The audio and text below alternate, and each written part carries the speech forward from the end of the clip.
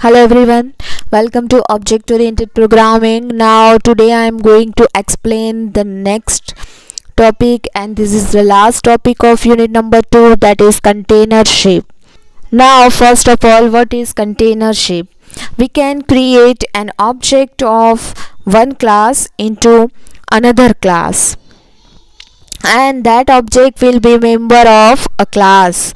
The class which contain so this type of relationship between a classes is known as containership or it is also called as has a type of relationship in that one class contain the object of another class and the class which contain the object and the member of another class.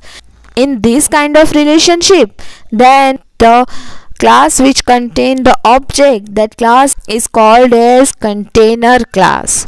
Now here let me explain syntax. Let me firstly create class first. In that write some code. Then after that create another class second. And in that second class if we create the object of first class then this type of relationship is called as containership now let me explain it by one example. Here create a class first. In that write public member function showf in that print hello from first class. Now create another class second. In that create the object of first class. And after that in second class constructor call that method using that object that is f dot show f. And now in integer main create object of second class.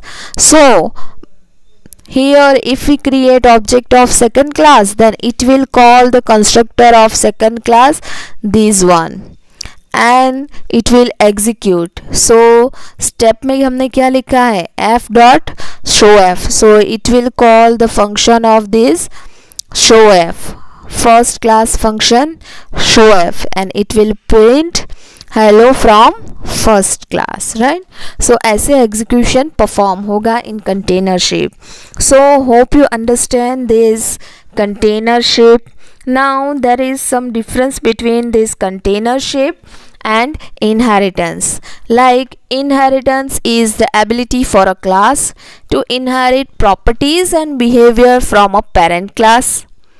While containership is ability of a class to contain object of different classes as member data right inheritance में क्या होता था parent class की property जो है वो हम inherit करते थे दूसरे चाइल्ड क्लास में भी वो प्रॉपर्टी आ जाती थी बट यहाँ पे कंटेनरशिप में ऐसा पॉसिबल नहीं है। एज अ मेंबर हम फ़र्स्ट क्लास के ऑब्जेक्ट को क्रिएट कर सकते हैं as a data member right second difference is if a class is extended in inheritance then it inherit all the public and protected member and those behaviour may be overridden by subclass but if a class is contained in another then the container does not get the ability to change or add behavior to a container.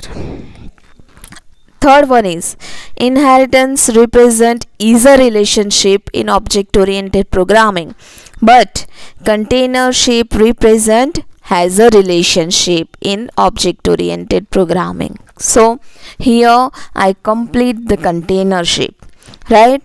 Hope you understand this topic and small example of this topic. This topic is small but most important topic.